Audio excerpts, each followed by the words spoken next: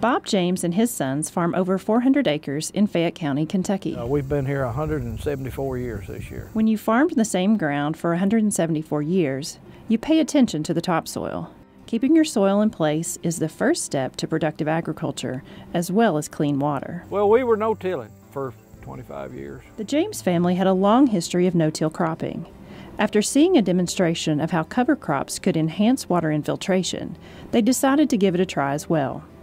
Their farm has seen increased yields, improved soil organic matter, and less runoff. The, the, the soil is with the cover crop is just it's just getting better. As you see these soybeans here, they're they're pretty nice soybeans. I see the yields increasing every year with my with cover crop and overall, and we're doing it on rented land. The costs associated with using cover crops can keep some farmers from trying it, but cost share programs may be available to reduce this financial burden. If you're improving your soil and your soil health improving, that'll improve your economic, make your bottom line better. It's expensive, and the first time or two you do it, you kind of scratch your head and you think, oh man, I don't know whether this, this is worth it or not. Uh, time, time you buy the seed and either drill it in or, or broadcast it, whatever, either way, it's, it's expensive. And uh, a lot of people are never going to do it just because of the expense. But if they just bite the bullet and go on and do it, uh, they'll start seeing a return. Cover crops can reduce fertilizer input costs, improve water infiltration rates, and reduce runoff leaving the farm.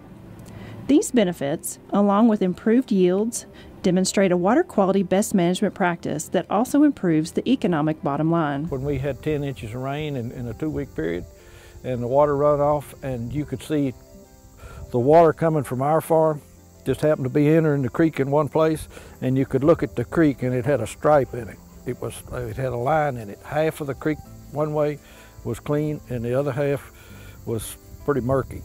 If the soil is staying put and your uh, nutrients are staying put, and when you have water runoff, the water's got to be cleaner.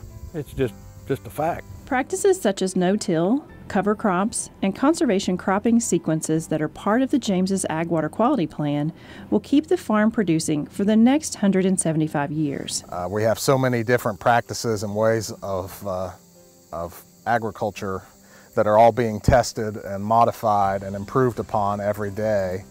And so I feel I'm happy that our, uh, our farm is engaged in that as well, that we're, we're trying the soil health system, we're moving on, uh, moving the soil quality up and trying to get to uh, a better way of doing things.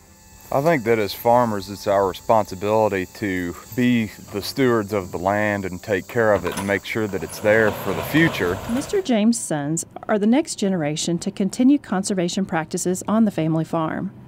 This includes updating their ag water quality plan to document their progress as new practices are developed and implemented. And so I became aware of the ag water quality plan and how our practices on the farm impact and how that uh, plan, that paper will serve as sort of a map for our farm saying this is what we've done, this is what we hope to do, and it basically codifies our goals a little bit. You know, used to when I was a kid, we'd do a little fishing in the creek for minnows or whatever, but we'd fish a little bit.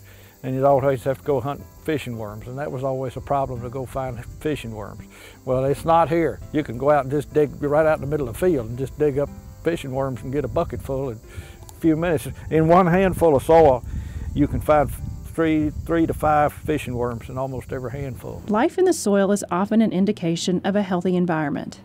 The Jameses have combined sound cropping production practices with sensible soil and water management approaches to protect water quality and enhance their bottom line.